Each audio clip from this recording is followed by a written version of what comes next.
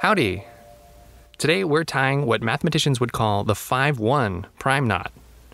It's a knot with five, count 'em, five crossings. For 3 and 4 crossings, there are exactly one prime knot. Up to, you know, a choice of chirality. That is, up to a choice of handedness. With 5 crossings, there are actually two distinct prime knots.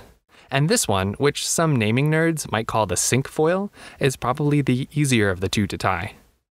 So let's tie in. We start with the overhand knot, the trefoil, and just wrap the end one more time. And that's it. We bring the knot to standard form as usual by connecting the ends to form a loop. Now, when we dress the knot for mathematics, something wonderful happens. We get a five pointed star. Of course, you can probably see an entire series of odd crossing knots now.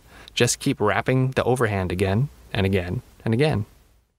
Aren't knots fun? Next time, we'll look at the other knot with five crossings.